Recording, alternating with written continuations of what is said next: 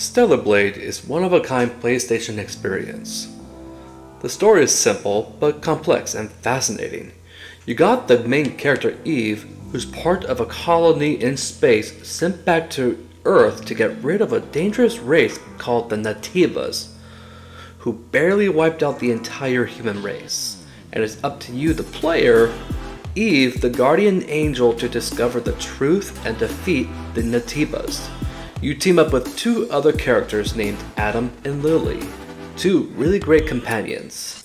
They are great additions as they help Eve and her companion that's a floating robot with both characters to use to aid in your journey.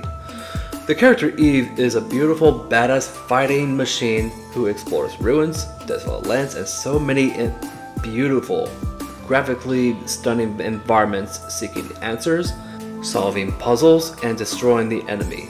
This game has great storytelling, complex characters, beautiful graphics, smooth gameplay mechanics, and much more. Plus, you have a skill tree for each ability with either your blade or your gun. The further you get into the story, the more OP you get. The gameplay is fun, new equipment, moveset power-ups, good companions, and friends. The more you purchase lore books, ammo, and equipment from vendors, your friendship level goes higher as you get more outfits and accessories for Eve. The more effort, the greater the reward.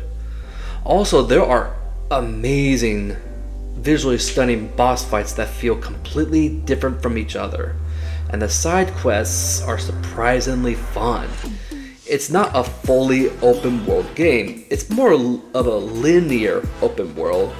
You must complete a region in order to unlock another part of Earth. There's really not much to complain about this game. It's a Sony PlayStation exclusive game. After you complete the story, you can do a new game plus with more added game outfits, accessories, and much more. More rewards. This is a fantastic game with small amounts of little to nothing glitches, visceral gameplay, beautiful graphics, and a great original new character with Eve. I really hope we get another game to see where her journey takes her. With this game, I will give it 8.5 out of 10 coffee mugs. Well, again, thank you so much for watching this video. And be sure to subscribe to this channel and ring the bell to get notified about my latest videos. If you're on your phone, make sure to go on your settings and switch on those notifications.